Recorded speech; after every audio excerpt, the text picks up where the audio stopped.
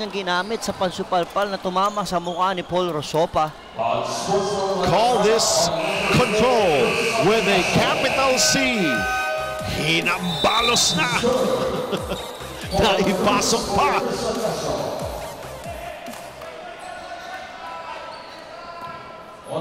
So,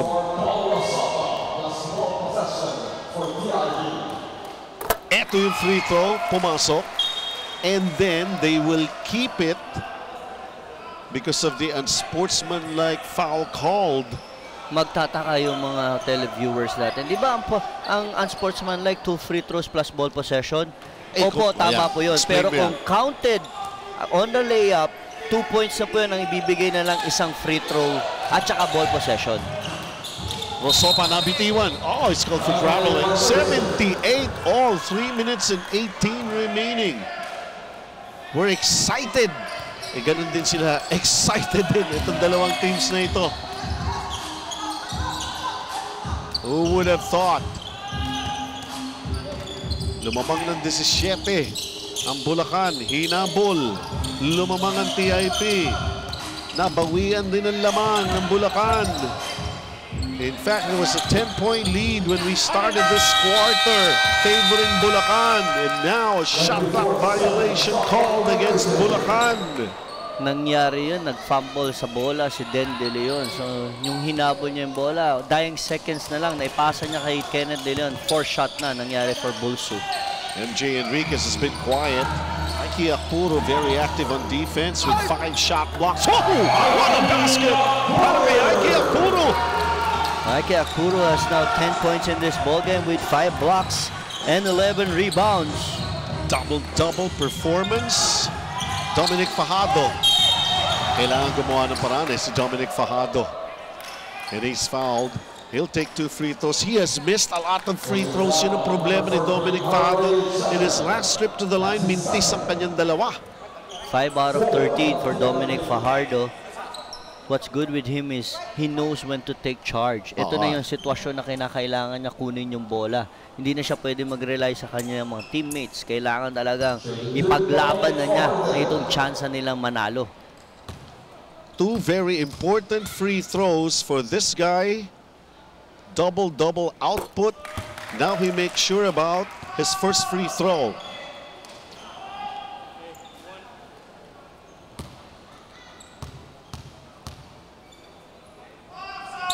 One more. Mintis.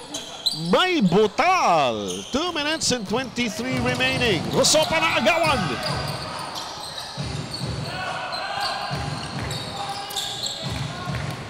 Bulacan down by one. They go to Dominic Fajardo.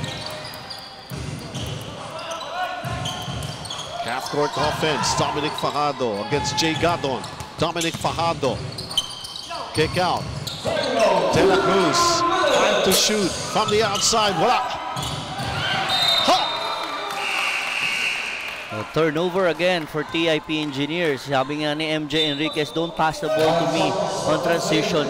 Dapat forward pass yun kasi wala Kaya nang nga eh. depensa sa harapan ko. Wow, 31 turnovers for TIP Engineers. Ito ah. Inside two minutes. May butal. Den De Leon. Paul De La Cruz. Shot clock down to five. Paul De La Cruz. Pilit na bitiwan ng bola. May 3 seconds to execute ang, ang Bulsu. Good defense by TIP Engineers. Kanino sila pupunta? Si Dominic Fajardo ang mag inbound from the baseline. Very crucial possession for Bulsu. They go Kenneth Reyes, their leading scorer. Kenneth Reyes delivers. Nice floater by Kenneth Reyes against Aiki Akpuro. Hinabol naman ni Aiki Akpuro kaya lang di talaga niya naabot na. Bulacan with the upper hand. Ali Diego, difficult shot, nothing. Bulacan with a one-point lead sa kanilang bola.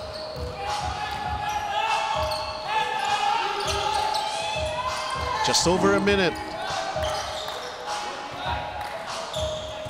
De La Cruz. Shot clock down to six. Reyes again!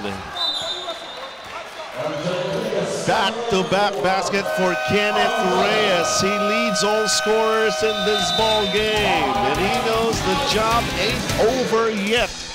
They have a three-point lead. A timeout has been called by TIP Engineers.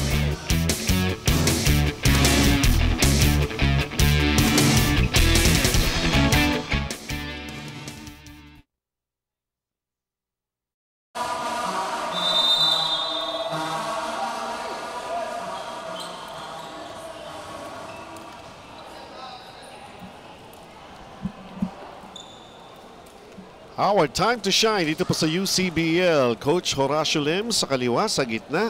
Boss Bernard Young and of course, Coach Melo Navarro. Three Kings ba? Christmas pa lang yung parating eh. Oo, nakapula pa sila. Kaya, ayan naman mga prinsesa naman yan. Di ba? Sipin mo, tatlong nakadilaw. Pagdating sa TIP Engineers, tatlong nakadilaw. Oo nga, no? Tatlo din na naka-blue. Yan. Tatlo-tatlo? Eh, tatlo ang lamang ng Bulacan. Ang galing na ipasa mo Diba? pa yun. 83-80. MJ Enriquez. Wow, Brian Santos for the three. Wala. Ike Apuro, offensive rebound. Ike Apuro having some problems. Double team na wala yung bola. MJ Enriquez. Bang! Nawala ang butal. 38.7 seconds remaining in this game. Tabla tayo at 83. Hindi pa tapos ito. Nagkagulo-gulo na yung play para rito sa TIP Engineers. But MJ Enriquez, only his second three-point basket. But it's so important. They tied this ball game at 83.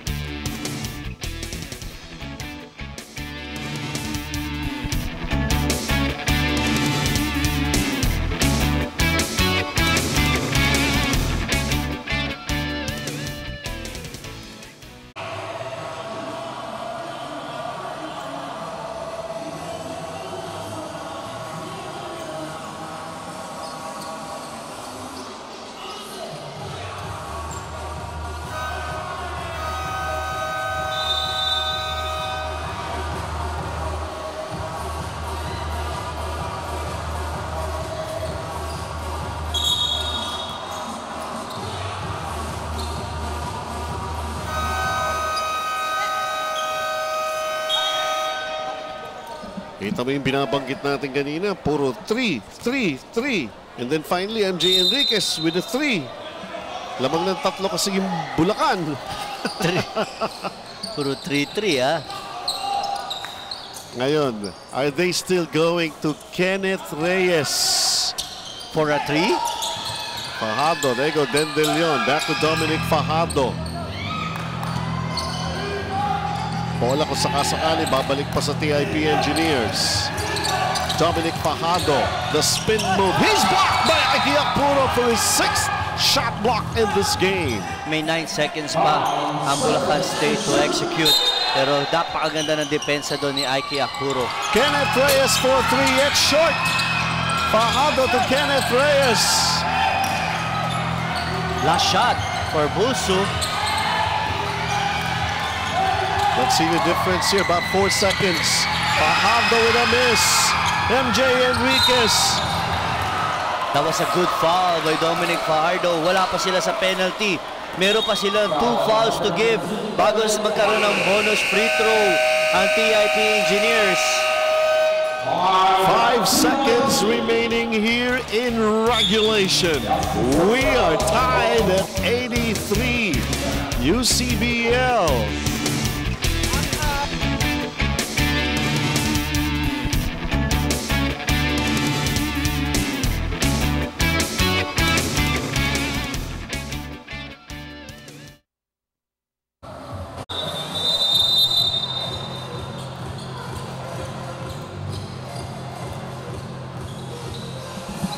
Olivares will be going up against Colegio de San Lorenzo in our next game.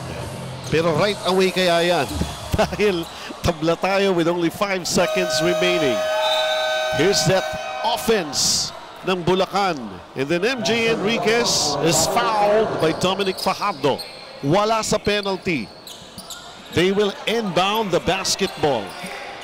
And TIP engineers Remember, Benji, may two fouls to give pa dito ang Bulacan State. They better use it. If not, TIP engineers will attack right away. They go to Ike Akpuro. Ike Akpuro puts it up, puts it in! Wow!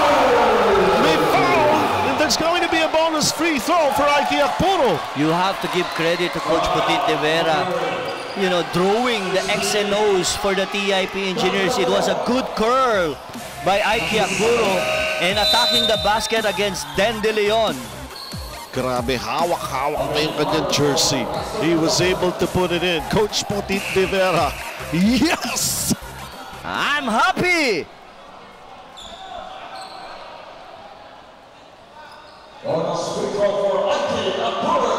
Di ba sabi natin, puro tatlo, puro tatlo, puro tatlo. Submit yung dala, yun, two points yun.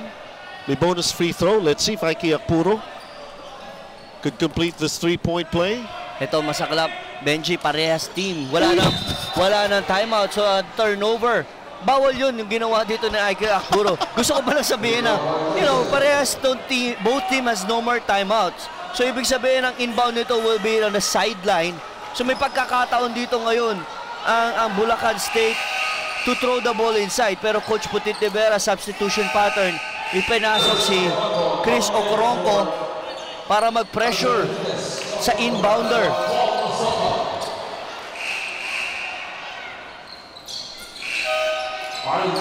Well, I don't understand what Ike Akpuro was doing there. Hindi, gusto niya lang patamahin sa basket para tumakbo na yung time. Kaso, tumama lang sa board, hindi tumama sa ring. Hindi naman tatakbo yung time kung board lang. Kaya nga eh. This is crucial. Off the ball. Pag hinawa, tinawagan ng referee, hinatak that's unsportsmanlike foul sa FIBA rules. Eto ngayon, natapik! Okoronko, natapik! Napunta pa kay Brian Santos! Another escape win para sa TIP Engineers. How long can they withstand ang pressure na ganyan in every ball game? Coach Potit de Vera, another sigh of relief. It wasn't easy. Chinaga, Tinrabaho, Coach Potit. Wow! Halos ayaw niya makipag-usap muna kahit kanino. And they escape again laban sa Bulacan State University to consider that Bulacan State University had this in control in the early goings, leading by as much as 17, entering the fourth quarter leading by 10, but TIP Engineers, the result favoring them to win just by 2, 85-83. What a great escape by TIP Engineers. Talaga naman, first quarter to fourth quarter, nandoon, binigyan ng diin ng Bulacan State University itong game na to. Pero, andito pa rin si Harley Diego to save TIP Engineers. Wala si Joe Ray Nopales, pero nandito si Harley Diego scoring 22 points, 16 rebounds, 2 assists, and 2 steals. Nakasama ngayon ni Bailey Sakot. Thank you, Benji. Kasama ngayon si Harley Diego. Harley, it was a hard-earned win. Lots of up, and downs. Uh, ano sabi sa inyo ni Coach before ng laro? Ah, gawin pagpatuloy lang namin yung ginagawa naming tama. Tsaka ano, mag-trust, mag-trust kami sa mga kasama namin. Ano yung during na naghahabol kayo uh, for about 17-20 points sa Bulls, so ano yung ano yung nasa isip mo nun? Ang- kagaya nga sinabi ni Coach, ah, doing the right things lang. Kaya yun yung ginagawa namin lagi. May gusto ka batiin? Ah, binabati ko nga pala yung mga ano, sa Ultima Ordaneta Pangasinan, yung mga magulang kan, Diego family, tsaka yung sa Cavite, sa ano, General Trias, mga, sa Marikina, mga, kabi, mga kaibigan ko doon. Si Kuya Danny Ay, sa PIP Community, kita, ah, Boss Jello, thank you. At dahil ikaw ang player of the game, itong yung GCs from Karate Kid. At uh, congrats on the win. Back to you guys. Kita nyo nga naman, may karate kid. Ito si uh, Harley Diego. Huwag po kayong aalis. More exciting games. We promise you more exciting games dito po sa UCBL. As Olivares Sea Lions will be going up at against Colegio de San Lorenzo Griffins. That's coming up next.